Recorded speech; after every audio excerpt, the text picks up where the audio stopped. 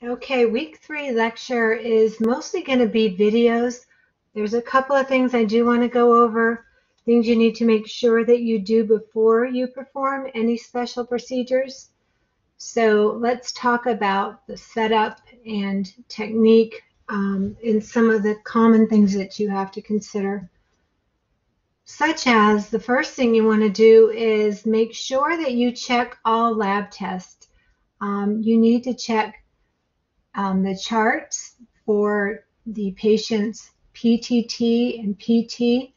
Um, PTT stands for partial thromboplastin time, which evaluates um, the effects of heparin, aspirin, and any type of antihistamines that your patient might be taking. And what we're looking for is how it affects the rate that blood clots.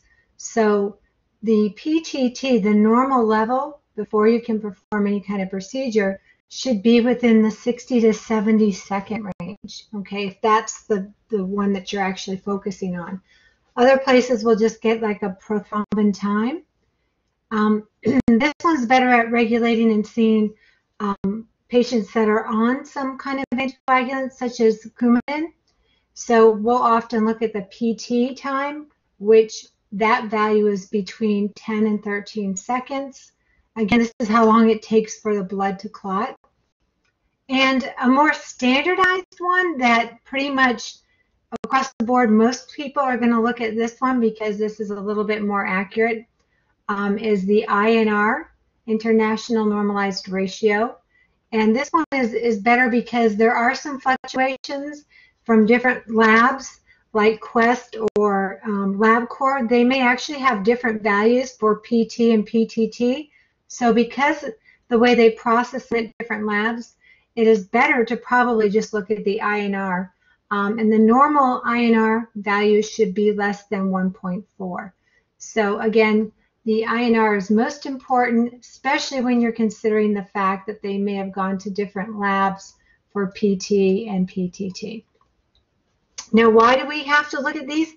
Well, it's important to know if you're going to do any type of biopsy procedure, we want to make sure that your patient isn't going to bleed out. So um, we got to we've got to ask them a couple of questions, especially things like, is there anything they could be taking, like antihistamines, and they may not even realize that, but that can thin their blood.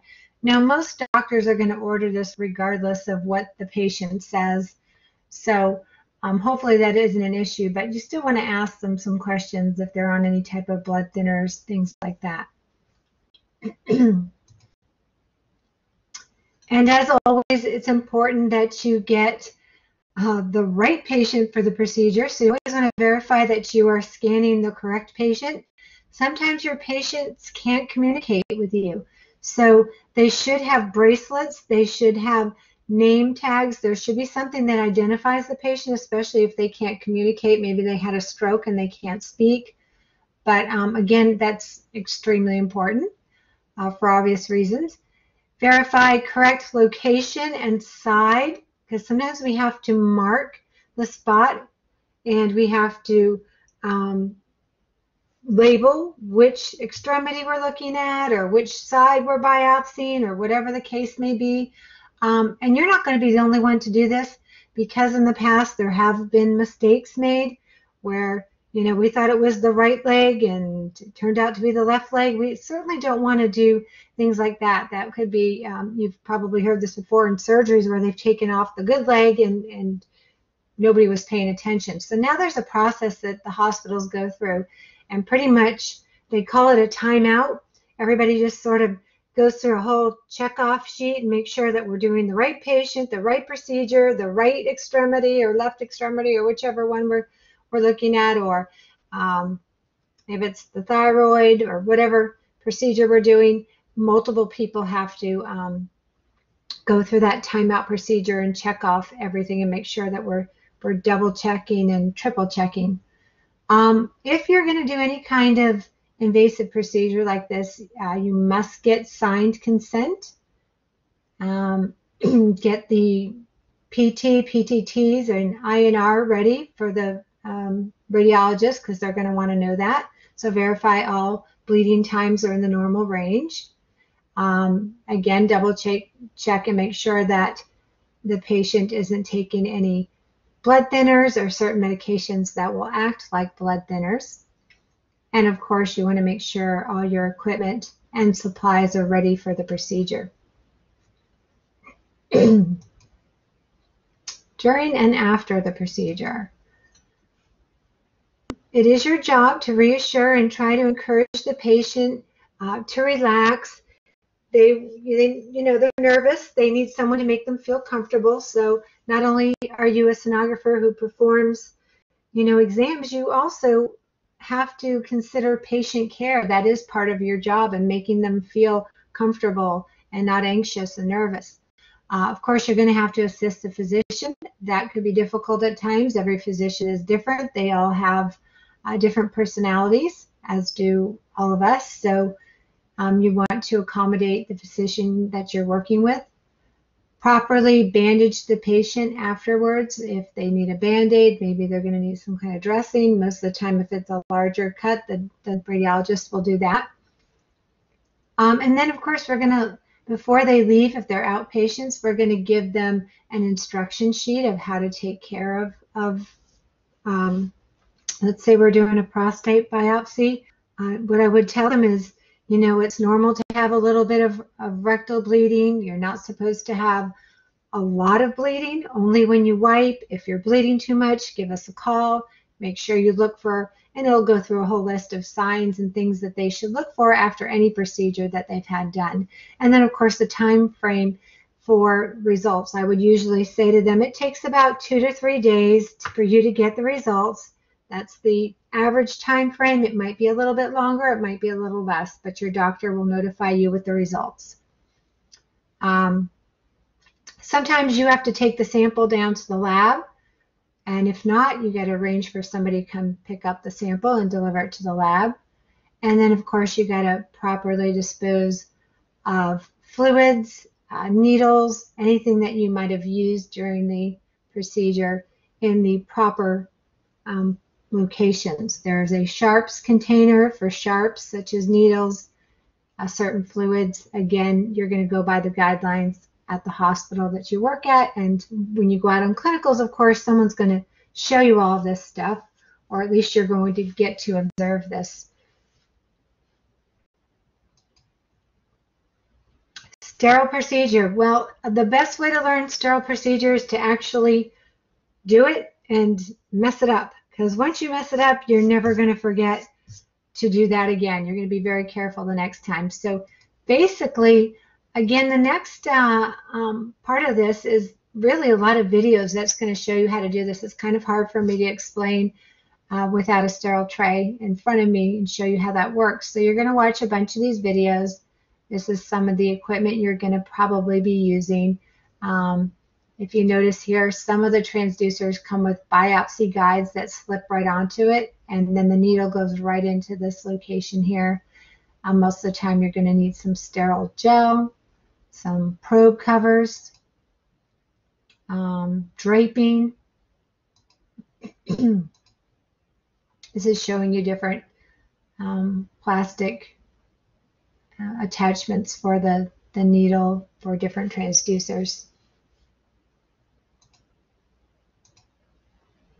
we talked about the importance of how to go in with a biopsy. Now, it's not your job. I realize that, but you'd be surprised at how many um, radiologists try to come in straight down parallel to your transducer. And the problem with that is if they come straight down, you're not going to be able to see the needle. So what they want to be is 90 degrees with the needle from the beam. So let me draw that for you. If this is the beam coming out of the transducer, you want the needle to be as 90 degrees as possible so we get a reflection. What we don't want is if this is your beam coming down, we don't want the, the radiologist to place the needle parallel because you won't be able to see it. Okay?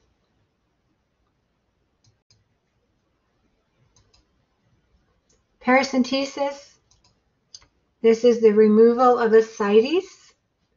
We may be doing this for diagnostic purposes or therapeutic or a combination of both. Uh, therapeutic is usually when we know what's going on with our patient. Maybe they have liver failure and that's what the cause is. So we're just trying to make it easier for them to breathe and, and all the stuff that went along with portal hypertension, uh, maybe a cause for their ascites. So other reasons we might go in and just sample the fluid because we don't know what's going on with our patient and we want to get a diagnosis. So um, the ascites can be sent to the lab for both reasons. Um, it is our job to mark the site and typically include the depth. And what we're trying to do is find a location where there's more fluid and less bowel. The last thing we want to do is perforate bowel. So I like to do the biopsies with the radiologist live. Some places will just put an X there and say, hey, go 10 centimeters in, and you'll be in the biggest pocket of fluid. I'm not really comfortable with that. You know, organs will kind of, or bowel rather, will kind of float around in that fluid. Um, so I prefer to do them live, and um, hopefully, you know, they'll give you that preference. And we only remove fluid in the amount approved by the radiologist. Um, and of course, if we remove too much fluid, we start bringing that, that bowel closer and closer to the, the needle, and the chances of perforating increase as well. So we typically remove a certain amount. Um, and of course, as, as it sounds like common sense, but use care when handling the containers because a lot of times they're glass containers and the last thing you want to do is, is drop that. So here in this picture, there's obviously a lot of fluid. We don't see any bowels showing up in this particular picture. So this is a nice pocket of fluid for the radiologist to go in and aspirate. Um, so this sonographer is basically measuring the depth of the skin and then showing how far in would be the best location to be in the center of that fluid. And again, every place is different. We always pretty much did ours live. This is what a sterile tray would look like. Here's a biopsy needle. These are some of the containers that we would fill with the ascites. And again, a lot of times they're glass, so you want to be careful with that. And basically, we are removing ascites is the removal of the fluid below the diaphragm. Um, like I said, there'll be a video for all of these procedures. Thoracentesis is very similar to a paracentesis, except for thoracentesis is above the diaphragm and around the lungs. This is the removal of fluid in the pleural space. Uh, when there's too much fluid in the pleural space, we call that a pleural effusion. This also may be done for diagnostic or therapeutic um, or both, basically, purposes. Um, mark the site between the rib space uh, as inferior to the lungs as possible. Typically, you're going to have your patient um, leaning forward but sitting up the reason for that is allows the fluid to fall and gather in the dependent portion, making it a larger portion to um, to aspirate without accidentally puncturing the lungs. So we want a big pocket of fluid. So sitting them up, we're putting that entire pocket in the dependent portion instead of a small amount of fluid all the way around the lungs which is the way it would be if they were lying down. So this gives us a nice pocket of fluid to aspirate. Um, as always, be sure that you close the tubing when switching bottles so you don't have fluid going all over the floor or yourself. Um, you also don't want to introduce air into the pleural cavity and that can cause a pneumothorax. And again, when you watch the videos, that will probably help with some of the understanding. And we typically don't remove more than 15 milliliters unless instructed to do so. I guess it really depends on how much fluid and, and why we're doing it. And another thing about um, a, a thoracentesis is we typically only do one side at a time, even if they have a bilateral thoracentesis. And the reason for that is if we do accidentally, when removing the fluid, what happens is, and maybe I can try to draw this. Um, let's see if I can find a nice slide to show you. More drains. Okay. What happens is if you have your needle, okay, and this is your needle in here, and you're starting to withdraw some of that fluid, what's going to happen is this fluid is situated between the visceral pleura and the parietal. Okay, the visceral and the parietal layers.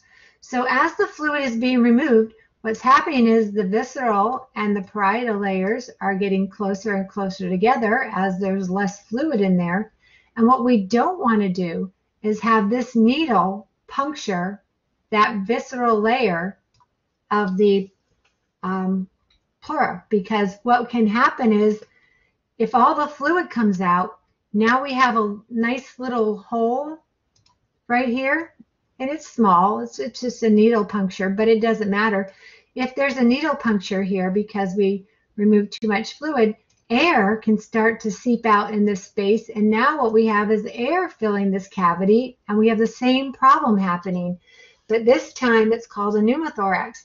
So what we would have to do then is um, put a little chest tube in there to drain the air out until this little wounded area heals itself, which doesn't take typically very long, but that's what we want to avoid. Hopefully that was easy to understand. Um, this is just showing you basically ultrasound's uh, role, how we usually put the needle in below okay, or above. I guess it's hard to say on here because they're right in the middle, which is probably the best thing. You want to be right in the middle. You don't want to be too close to the vascular bundle there of, of nerves and vessels. And again, the patient sitting up allows all the fluid to pool in a dependent area like this, making it easier to aspirate. Here's sort of a live picture showing you what a pleural effusion would look like and see how we use the diaphragm as a landmark. So this is, whoops, black isn't showing up good. Right, this would be considered above the diaphragm and a pleural effusion. If it was the fluid was all around the liver here, that would be ascites. Aspiration. Okay, this is used for pretty much uh, cyst analysis, um, or we can aspirate by using fine needle aspiration of a small solid structure.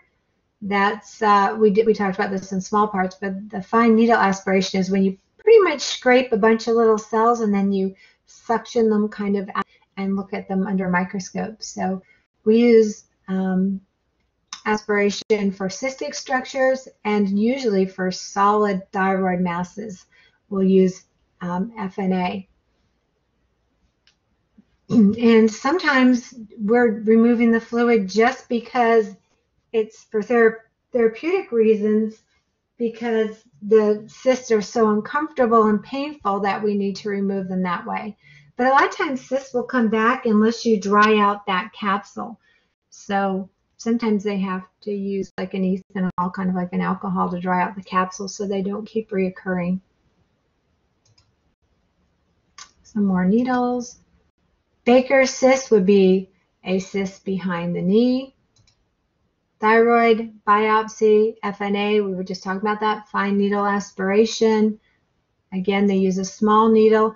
They'd rather do this than use um, a biopsy needle, a large core biopsy needle, a core biopsy, because it's so vascular and it's so scary when you're so close to like the jugular and the carotid. So we have to be really careful. Unless it's a really large nodule, it would be a lot better and more accurate to do a core biopsy. But because of this delicate vascular area, we start with the fine needle aspiration and hope that we're getting enough of the sample to make a diagnosis. Breast, often that's pretty easy to do a, a aspiration or a core biopsy. That would be a core biopsy in a breast. And what are we doing? We're, with a core biopsy, we're basically retrieving um, a sample of that tissue for analysis. So core sampling is a larger sample and we get more intact cells for analysis. So this is always going to be better than the FNA. And ultrasound guidance is usually um, assisting core biopsies of the breast, thyroid, um, liver. Those are the more common ones. Um, deeper biopsies may not be done with ultrasound. So you want to uh, look at some of the thyroid biopsy. I think there's an attachment. Um, it doesn't show up on here, but if you click on it, there might be an attachment that just gives you a little rundown of um, some of the things that we do with a thyroid biopsy.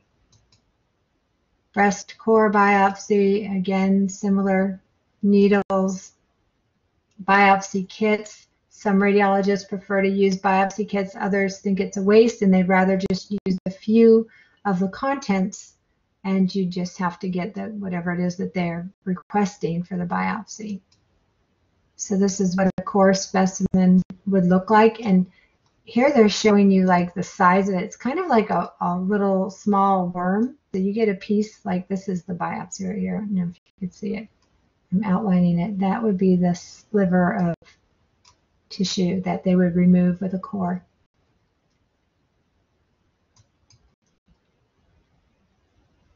And of course, it's always best when the needle is perpendicular to the imaging plane. So if our ultrasound beams are coming in this way, this is exactly the way we want to send in our needle, 90 degrees, giving us the best visualization of the needle actually going in to the abnormality. We want to be able to take pictures showing the needles actually in there so it's very accurate that way. A couple of more samples of needles.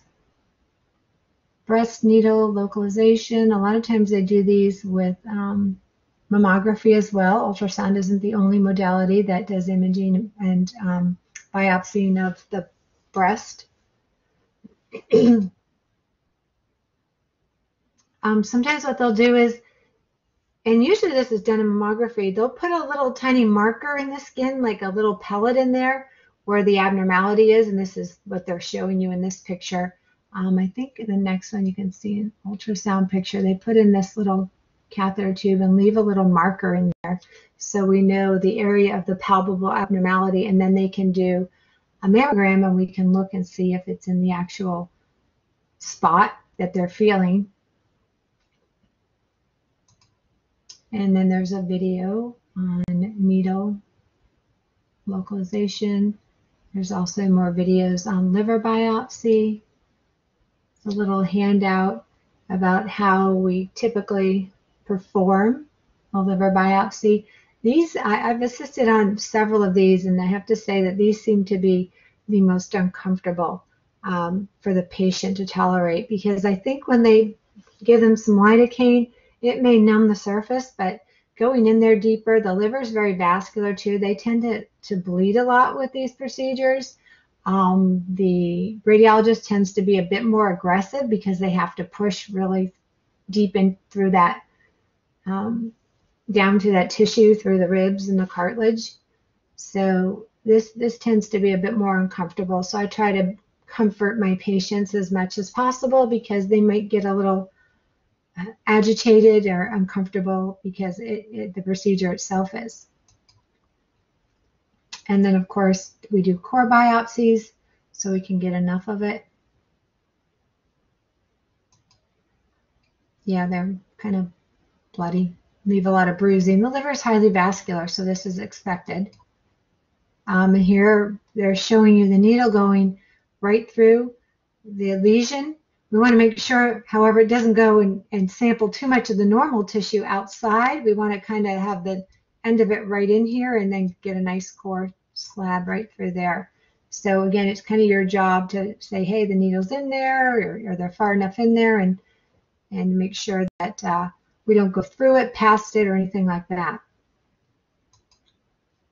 And actually, I think this one will send you to another link, just a handout prostate biopsy handout. I think Miss Piper did these sonohysterograms with you, I'm sure, in OBGYN and 1 and 2. This is when they put a sterile um, saline into the uterine cavity through this balloon tipped catheter. And they sort of, by putting all this fluid in here, sometimes when, when a woman presents with a thickened endometrium, we can't tell whether it's polyps, cancer, or just a simply thickened endometrium. So when they put this um, fluid in there, it pretty much helps to separate the two linings and you can easily differentiate polyps from fibroids, um, from thickened endometrium. So it's, it's really beneficial in visualizing the endometrial lining and diagnosing the difference between those different conditions. Um, and we usually do this with real-time imaging. Again, more trays. They're all kind of similar. Um, these are just showing you how a balloon tip catheter would look when they in, inflate the balloon. Starting to fill that cavity up with fluid. So once they put that catheter in, it's a lot easier to visualize. You could see a mass versus a polyp. Uh, different things can be pointed out there. CVS sampling, um, sampling of the, um, you've got the amnion, the chorion uh, layers in the fetus as well um, in OBGYN. So this is one of the things we, we look for some abnormalities. I, I'm pretty sure they have a lot better tests now. They don't do as much of these things as they used to. But this is a biopsy of the placenta um, and the chorion, and it tests for genetic abnormalities. They usually perform these between 9 and 12 weeks. Um, and as most procedures, they get the results in about two to three days. And anytime you, you biopsy or do something that increases the risk of miscarriage, but it's, it's a very low rate. And we don't do them unless we absolutely feel it's necessary. Does the benefit outweigh the risk? And we would do this with ultrasound guidance as well. And again, this is showing a little bit more how that's done. And here you can see the needle in there. Amniocentesis, that is basically the sampling of the amniotic fluid. Um, I hope this stuff is updated. Miss Piper's stuff, I would go by hers when studying for the registry, but whatever you know, like I said, this is, um, we go by the book for the class, but I'm sure she has the most updated stuff that's on the registry, so I will go by her notes. But usually done between 15 and 18 weeks. Um, again, we're looking for any abnormalities. Um, and also, sometimes we're just wanting to know if the lungs are developed yet so they can deliver the baby if they need to deliver the baby early.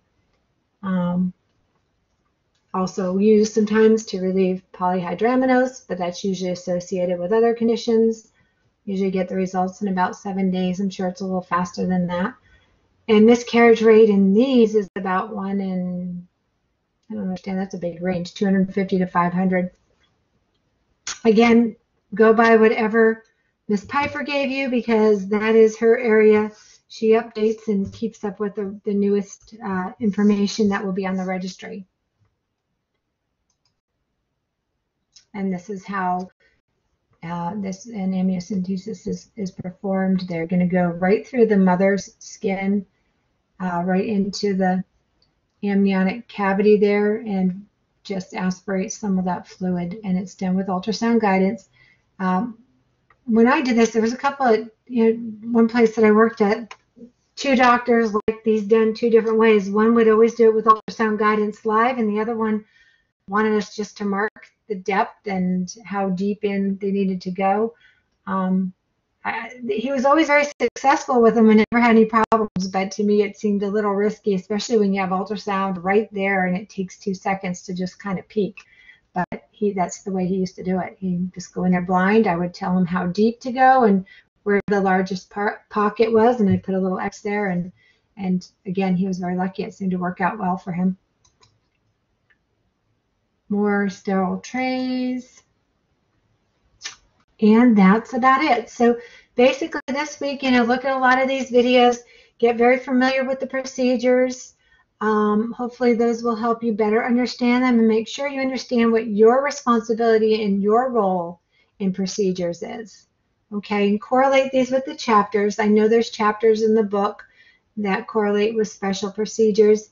And um, of course, I want you to study the workbook pages for this week as well.